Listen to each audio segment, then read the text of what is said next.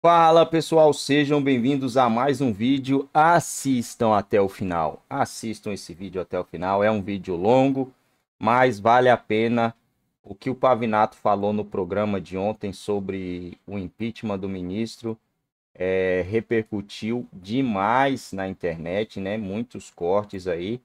E acabou que hoje dois senadores foram lá dar entrevista, né? E o Pavinato esclareceu tudo o que pode acontecer é, se algum senador vai ou não fazer esse pedido de impeachment. Só assista até o final para você entender. Deixe o seu like também, se ainda não é inscrito, botão abaixo escrito inscreva-se. Não esqueça de deixar o seu comentário se você acredita que o Brasil vai sair dessa tirania, porque a gente corre o risco do X sair do Brasil hoje. Hoje, um país democrático.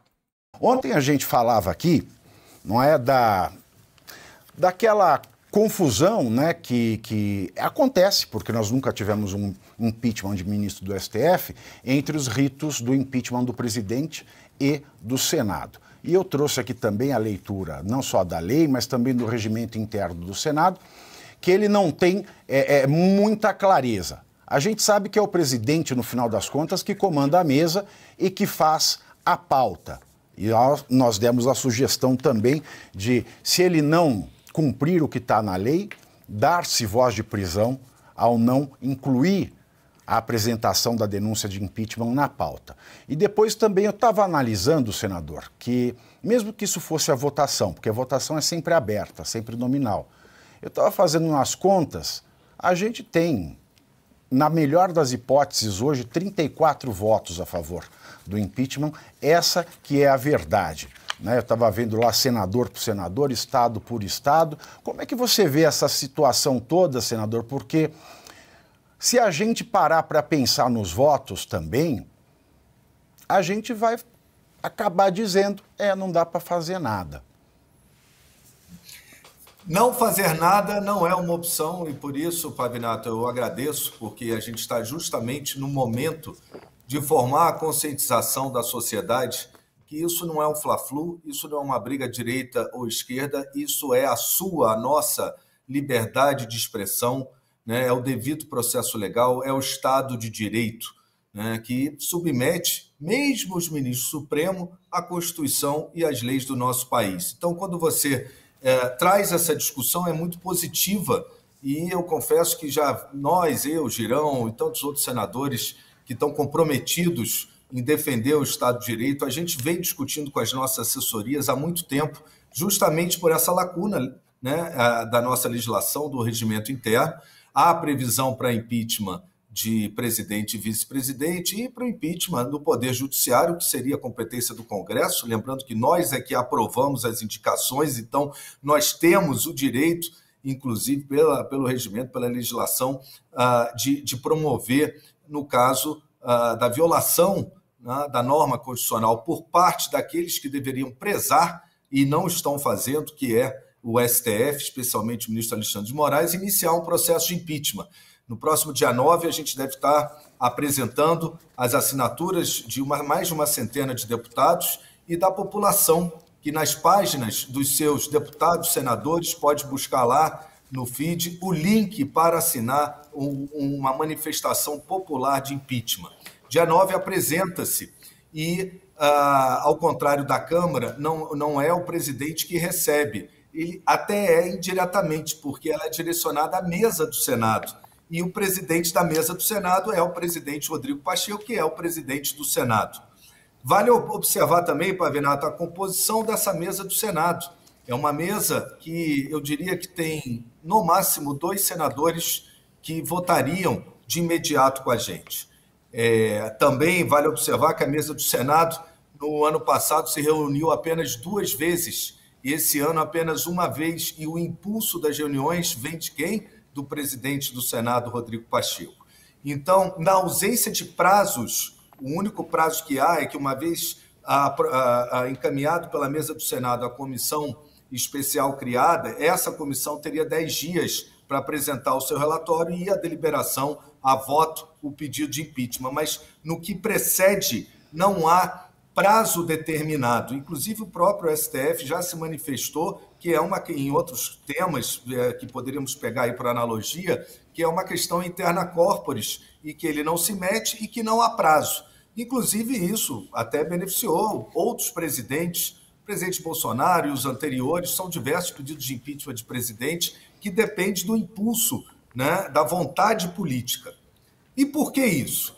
Porque o impeachment é um processo político.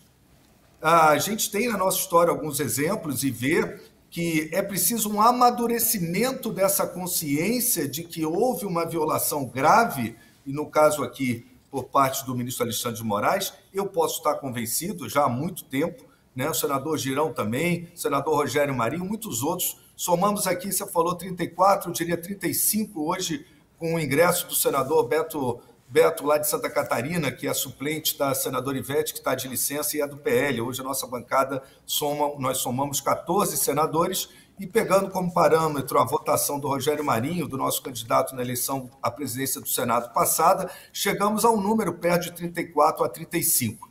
Mas a maturação dessa consciência que vai levar ao impeachment, em outros casos, ela aconteceu de acordo com os fatos. E o que parece, o que eu vejo hoje, Pavinato, é que há um desespero do ministro Alexandre é. de Moraes nos seus últimos atos.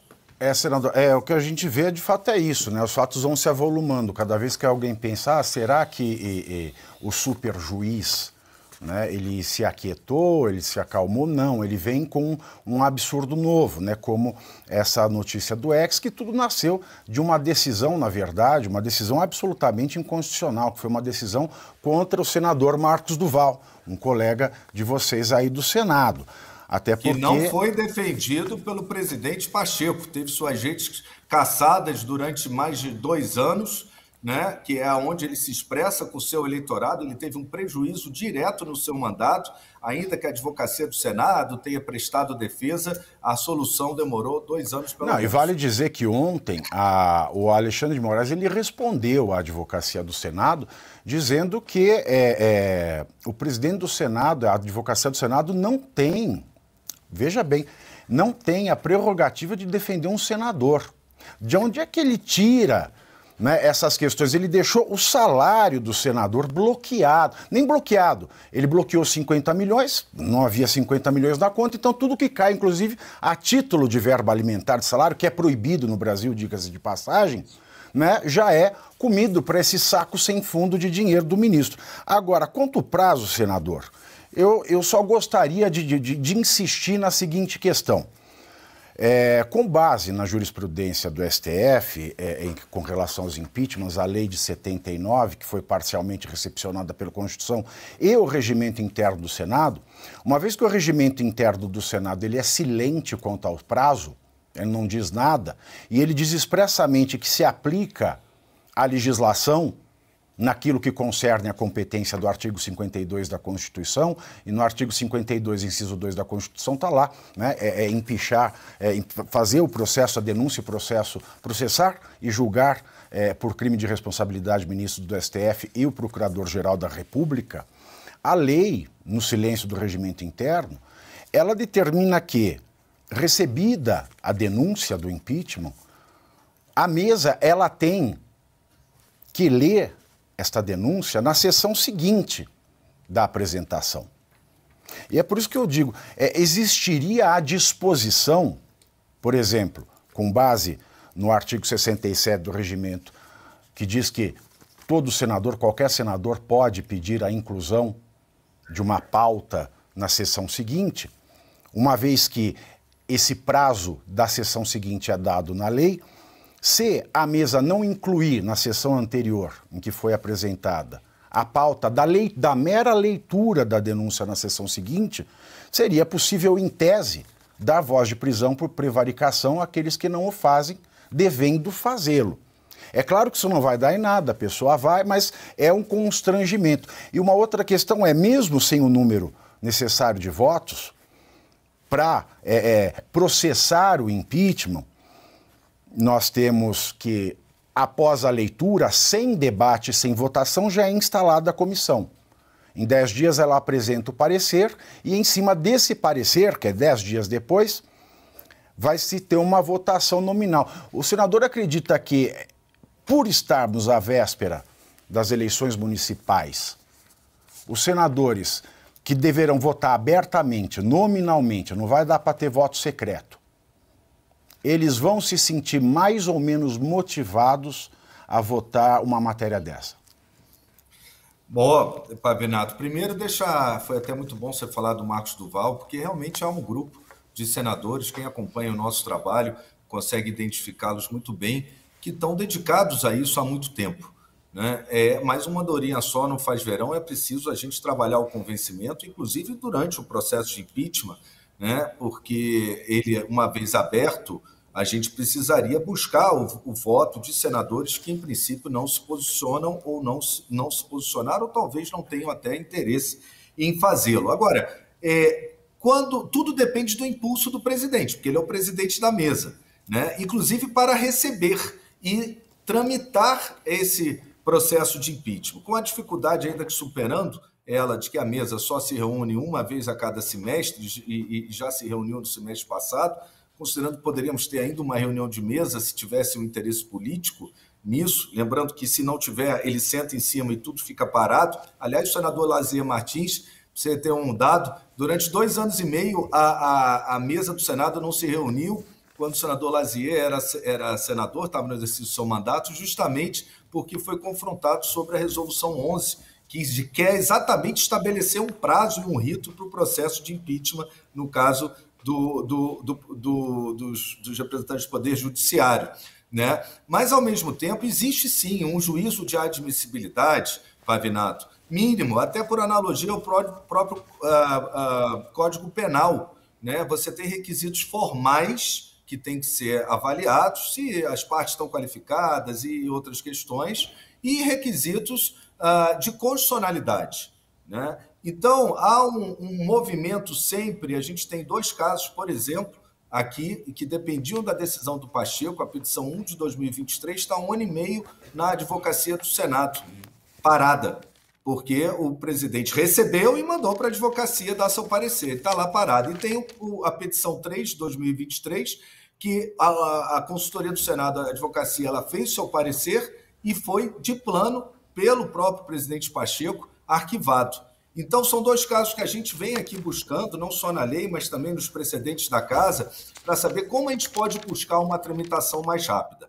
O que eu posso antecipar, Pavinato, é o que, após protocolado, o que eu enxergo é a possibilidade da gente fazer um requerimento de urgência para ser votado em plenário para que a mesa dê tramitação a esse processo de impeachment. São 41 assinaturas, se eu não me engano, para o requerimento de urgência, aqui minha assessoria confirmando, né? E nós temos 35 senadores, ainda teríamos que buscar pelo menos mais seis para conseguir esse requerimento de urgência. Aí é que é importante tanto o seu trabalho, né, a sua voz, de tantos outros jornalistas, aqueles exilados, nossos colegas lá nos Estados Unidos, os daqui da Folha de São Paulo, do Estadão, né, que já perceberam que a gente vive sob um regime de censura, o que a gente já há muito tempo ah, denunciava, poder dar voz e pressionar os senadores, a população pressionar os seus senadores, assinar o pedido de impeachment. É, a gente lembra do Ficha Limpa, ele foi consequência de uma manifestação popular.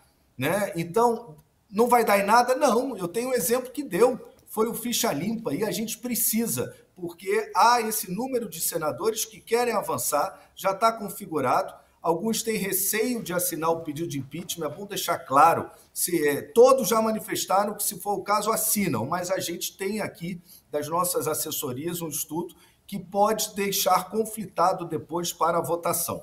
Eu já Olha. disse ao, ao, senador Rogério Marinho e ao Girão que, no último caso, eu ponho a minha suplente para votar, mas abrir o processo de impeachment é absolutamente imediato e necessário. Olha, só vou deixar aqui então umas considerações. Eu peço que o senador é, é, as leve também é, para a gente se atentar ao acórdão do STF na DPF, Ação de Descumprimento de Preceito Fundamental 378 do STF, tá? É de 2006 esse acórdão. E nele ele tem, uma, ele tem já umas pistas que são bastante úteis, que são as seguintes. A mesa, ela não pode, nem o presidente, por decisão irrecorrível, rejeitar sumariamente a denúncia. Esse acórdão ele diz que a mesa ela não pode, sob hipótese alguma, fazer é, é, ter essa atitude no caso da denúncia de impeachment. Tá?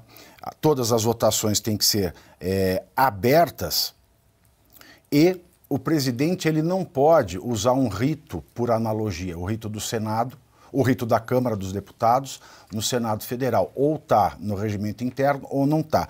É, tudo isso se soma a uma parte bastante interessante desse acórdão de 2016, da DPF 378 do STF, que diz: o preceito constitucional não fala em analisar a instauração ou recebimento de uma denúncia no Senado, mas sim em processar. Então, de uma certa maneira, esse acórdão ele retira esse poder de admissibilidade que tem o presidente da, da Câmara dos Deputados. Mas eu é, queria deixar mas... isso. Ah.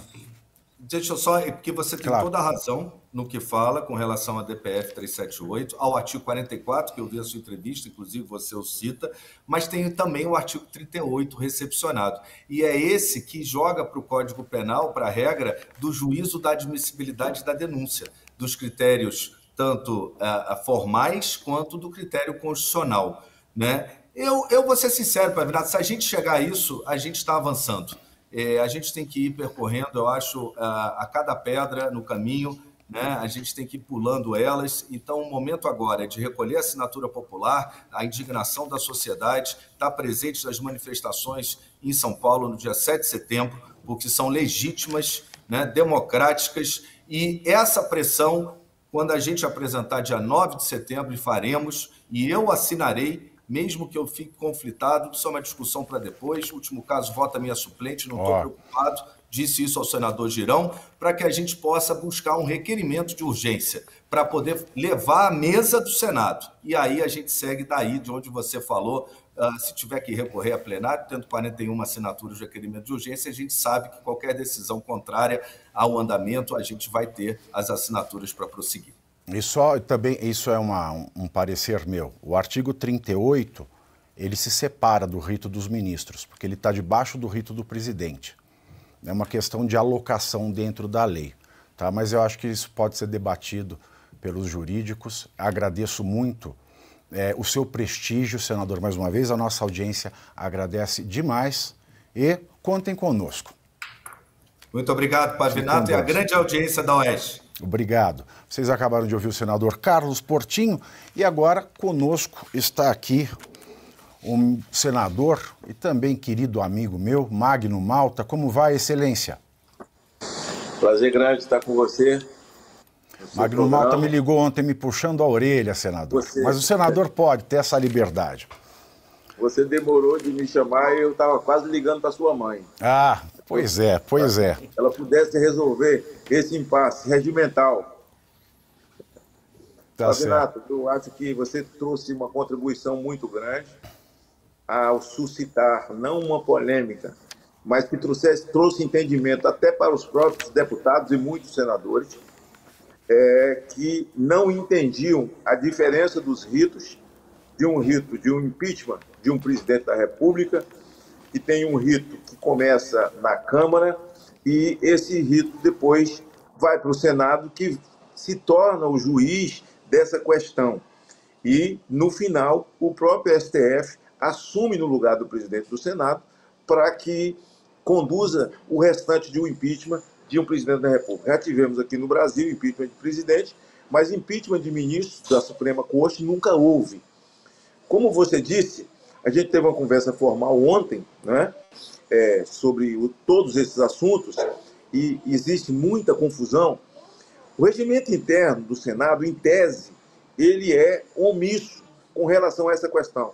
Mas há um ponto central que você colocou junto com o senador Portinho, que é a questão do tempo estabelecido para que o presidente do Senado, porque o protocolo de um cidadão comum ou de um senador precisa vir com todos os, os preceitos que são exigidos, com as condicionantes, fato determinado, todas as coisas, com provas e tal, e ele pode ser protocolado na mesa.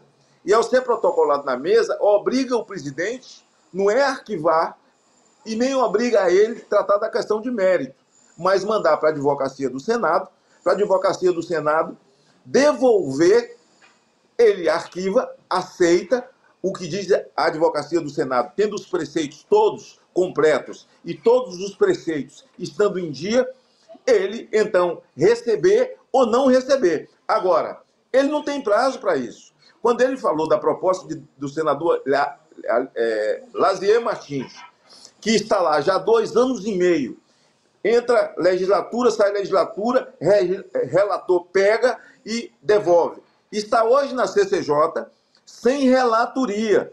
Então, o que falta? O detalhe é o prazo para o presidente Pacheco, que é um prazo de 15 dias, uma vez protocolado na mesa, mesmo a advocacia do Senado dizendo que não preenche os requisitos o pedido de impeachment, ele é obrigado a dar satisfação ao Senado, dizendo que ou arquiva ou recebe. Mesmo dizendo que está arquivando, um senador pode pedir de ofício para que seja encaminhada ao plenário.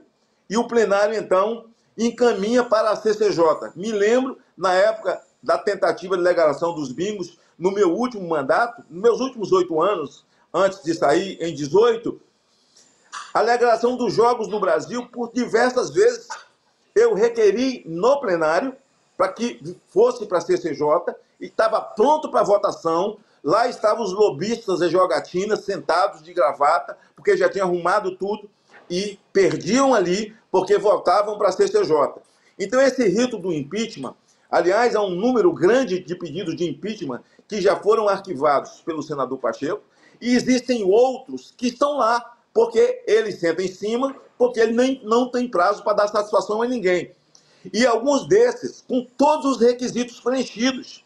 Bom, ele não tem obrigação de se manifestar sobre o mérito, o presidente. Ele tem obrigação de comunicar se recebe ou não recebe e colocar para o plenário. Mas quando você tem um pedido que preenche todos os requisitos e está parado lá, ficou parado porque eles já entenderam que o mérito, o mérito é para colocar em votação o pedido de impeachment de ministros. Até porque os pedidos que estão lá parados, o mérito, assim, é muito mais que recheado. As provas são muito mais que recheadas. Então, o que nós temos que de imediato fazer é resgatar a proposta de Lazier com a força da sociedade, com a força do jornalista como você, os que estão lá fora exilados e os que estão aqui dentro, e agora a Folha de São Paulo e, e, o Estado de São Paulo que também entraram, né? A Folha de São Paulo cooperou muito, né? E, esses, e esse jornalismo deles, né? Eu estou lamentando porque eles estão sendo perseguidos agora, mas eles, eles deram muita corda para o ministro Alexandre de Moraes, para o Supremo fazer todas essas atrocidades e essa coisa ditadora que nós temos no país hoje. Mas nós necessitamos realmente de que a força popular, que assine, que nós tenhamos essa força no dia 7 de setembro, que nós incentivemos e aqui os outros senadores percam medo, porque todos eles entendem que o Brasil vive esse momento. Mas muitos têm medo. Alguns se acovardam com o mandato de senador da República, para que eles tenham coragem, incentivado pelas suas próprias famílias. E essa movimentação que você fez nos últimos dias, chamando a atenção para essa responsabilidade, mesmo com é, é, o regimento interno do, do Senado sendo omisso nessa questão, existem na própria legislação, dentro do próprio Senado, no Código de Processo Penal, é, um conjunto de que nós possamos nos. É, é, é como é que diz? Tomar posse para que nós possamos chegar ao momento. O que o presidente precisa é ser pressionado. Por quê? Porque na pressão tudo foi resolvido ali. Não existe interstício, não existe regimento interno, não existe nada. Como Alexandre Moraes tem feito no, no, no, no TSE e no, no, pleno do Supremo Tribunal Federal. Quer Senador. dizer, ele, ele pinta e bota com o advogado. É, o regimento interno é mais do que o estatuto do advogado ou do que a própria lei. Então, o que nós precisamos é que o presidente do Senado tenha apenas 15 dias para poder responder os pedidos de impeachment. E nesse momento, dentro de um processo eleitoral, como você colocou, É a pressão popular que vai nos levar à vitória nesse momento, que eu acredito muito, porque esse tumor veio a furo, é muito pus que está derramando, e eu acho que isso não vai parar mais. O senador, é, eu vou passar para o Marcelo Bela fazer uma rápida pergunta. É, pessoal, é isso aí, né? Foi esse o vídeo. A gente percebe no tom dos senadores, é um tom de medo, né? Os dois senadores aí, a solução ela foi dada, mas um tom de medo e assusta o povo brasileiro, né? É, vamos torcer para que os caras se sintam pressionados pelo povo. E pelo que eu vi nesse vídeo aí, existe uma chance, existe, é uma chance grande, gigantesca. Mas isso só vai acontecer pela pressão popular, gente. Não é outra coisa, né? O povo tem que colocar os caras lá na cadeira e ainda tem que fazer pressão para que os caras façam aquilo que eles têm que fazer, aquilo que é necessário eles fazer. Se não pôr pressão, eles não vão se movimentar. Então o povo brasileiro precisa mostrar a maioria, a massa esmagadora, né? Precisa mostrar o que ela quer. Por quê? Porque esses caras acreditam que existe metade metade. Eu não acredito mais, né? Pode até ali em 2022 ter, ter tido aí essa metade metade. Hoje eu acredito que essa metade metade aí já não existe mais. Acho que nós já somos mais de 60% aí com uma certa folga.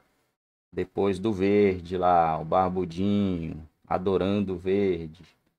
E aí o X saindo do Brasil, o talha-ferro, né, essas coisas, essas revelações aí deve ter mudado a opinião de muita gente e não foi de bolso somente porque ele fala, como é que é? Ele xinga, ele fala palavrão. Muita gente não foi de bolso por causa dos palavrões dele. Essa parte da, da população, eu acho que é mais de 20%, já pulou do barco. Já pulou do barco do Barbudinho pessoas que fazem muitas compras na nessas chains, né, essas pessoas também pularam do barco. Muita gente já pulou do barco. Muita gente já não está mais com barbudinho. Somente aqueles que não tem mesmo, você não acha um caráter na pessoa, a conversa dela é só querer coisa do governo, querer ser beneficiado pelo governo, que os ricos são opressores e que eles são desfavorecidos, que o rico já nasce lá na frente, obviamente, meu filho, é óbvio. Aí você vai reclamar porque o cara já nasce na frente. Não, você nasceu, meu irmão, você nasceu, é perfeito, tem saúde vai atrás. O cara nasceu lá na frente, não vai mudar nada na sua trajetória, né? Tem gente que acha que, ai, fulano já nasceu beneficiado. Chorar não vai mudar nada na sua trajetória. Chorar só vai fazer você perder mais tempo.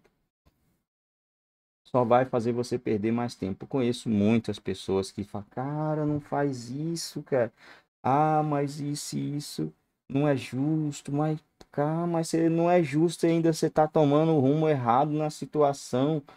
Vai por esse caminho aqui, aqui é mais fácil, aqui você vai conseguir empreender, aqui você vai conseguir fazer alguma.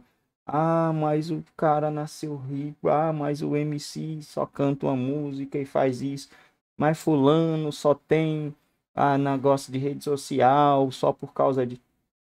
Cara, é, é, é triste. É tri... E isso gente de direita. Tem gente de direita que tem esses pensamentos. Tem gente não, né? Existe uma massa esmagadora de direita também que pensa assim, mas a, a, a, o pesadão mesmo é a galera da esquerda. O pesadão é essa galera aí. Todo mundo é beneficiado. Aí ele vê um amigo que cresceu, que conseguiu alguma coisa. Ah, é aquela sorte, né? Tem pessoa que tem sorte ele nunca se move para fazer nada. nunca se movimenta. Porque para ele tá bom chegar do serviço, ir para rede social, rolar, ao invés de pegar esse tempo precioso, estudar alguma coisa, né? Tentar fazer alguma coisa. Estudar alguma coisa que eu falo na própria internet, gente. Hoje o papel tá na internet. Tá na internet. E tem muita coisa aí para ser feita. Tem muito conteúdo para ser feito.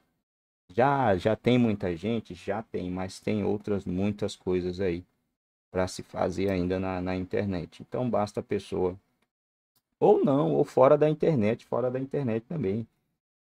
Né? Você pode hoje, vamos pegar esse esse tem um negócio aí que que aluga, né, a motoquinha. Cara, uma motoquinha hoje 10 pila, né? Não tô indicando ninguém fazer nada aqui, mas pô, já vale não tem dinheiro, não consigo comprar uma casa para alugar. Toquinha é 10 pila. Não tem muita coisa para ser feita, gente. Tem muita área aí para a pessoa empreender nesse país, né? Não adianta só ficar no choro, mas para isso o Brasil precisa tomar um rumo aí, porque muitos empresários já estão desistindo de, de investir aqui no país e cogitando até sair.